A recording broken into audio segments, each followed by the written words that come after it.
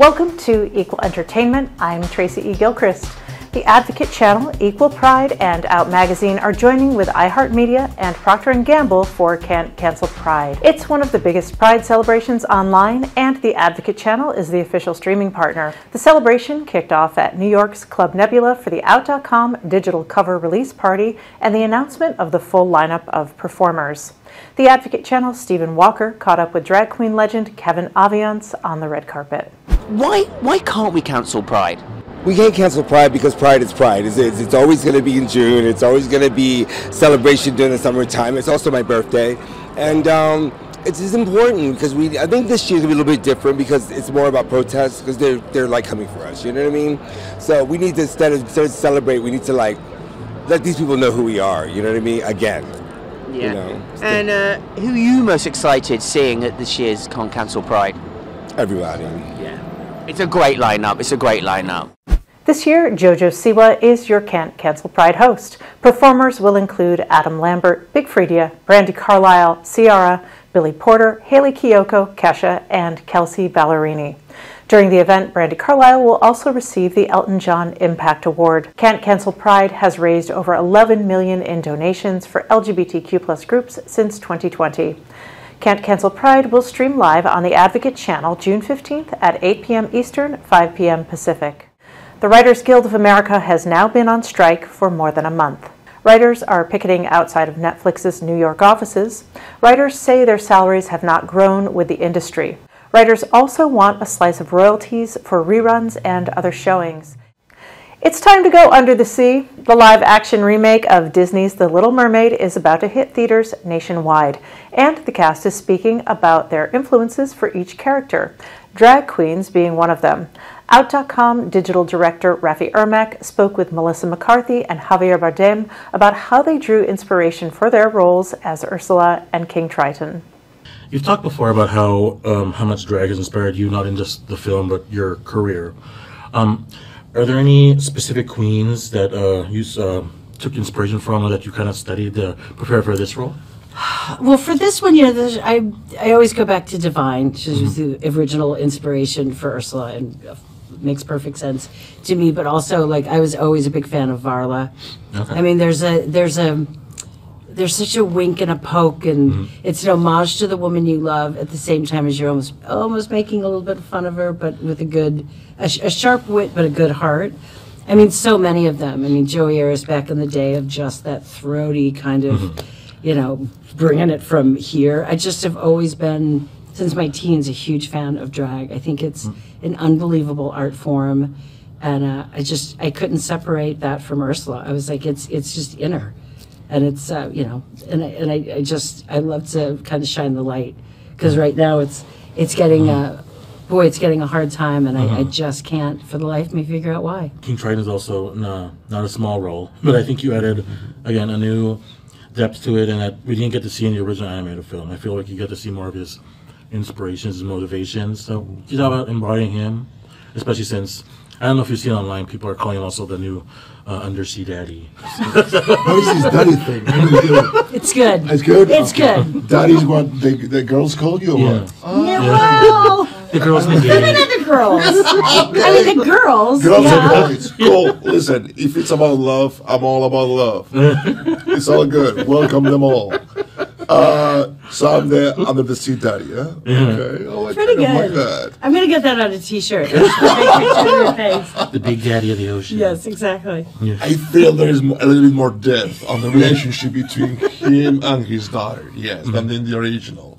But, uh, but it's all about love. It's about respect. It's about really seeing the other rather than imagining or trying to figure out, trying to construct the other in the way, shape, or form that we intend or wish is about seeing the other and accepting that the other is not is different from us and accepting it and welcoming it.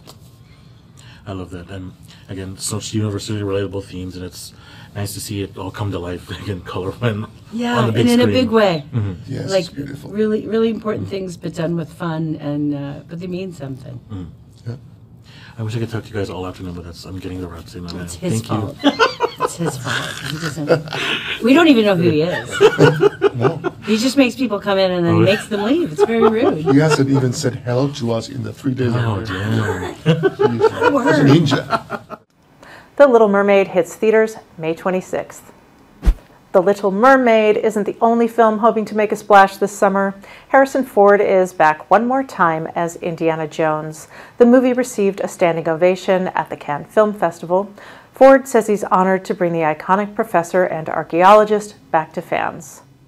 You don't make a film for yourself, you make it for an audience. And this is the first time I've seen it with a proper audience and a very distinguished and and uh, uh, an audience of many of the people who work in our industry. And uh, I was very gratified by it. I, I think Jim Mangold made a terrific movie. I think the performances from Phoebe and from Mads Mikkelsen and from all the other casts were brilliant. And I, I was just very moved by it. And it was a very nice uh, nod to my career. Uh, and uh, it made me realize how lucky I am. It's jam packed with so much action, so much heart, and so much thrill. Um, I think people are going to really be surprised by what they see on screen, but also really, really happy about where the franchise is going and where it ends. It was amazing. This movie is amazing. Thank you, James Mangold. I loved it, and I still can't realize this is happening. It doesn't feel real. I'm so happy. Thank you all for being here and for watching this movie. Go watch this movie in theaters. It's an amazing movie. Indiana Jones and the Dial of Destiny hits theaters on June 30th.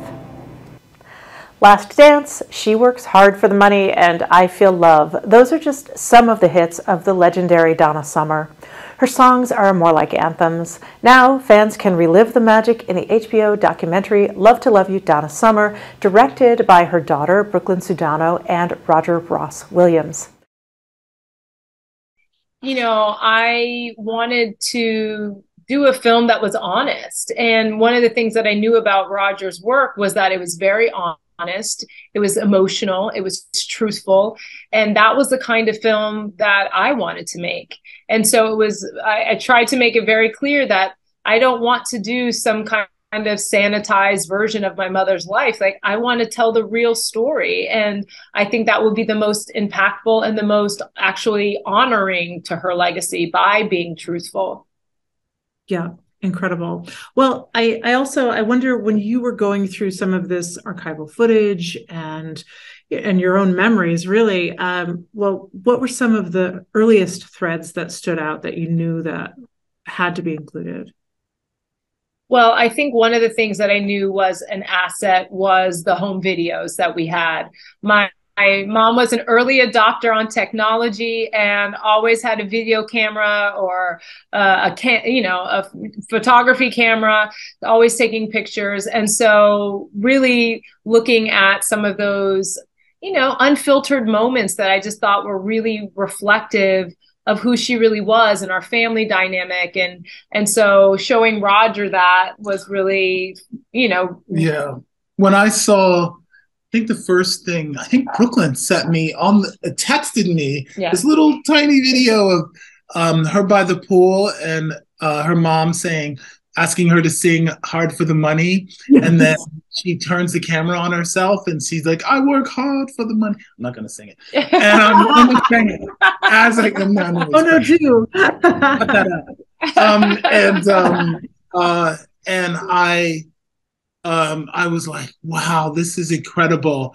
Um, and then I was like, the home movies. This is a side of Donna Summer, you know, global superstar that we don't get to see. And that was what was really important to both of us was how do we make a film that is not another behind the music kind of film, but is really about this private person that is a true artist and complex as all artists are, all people are.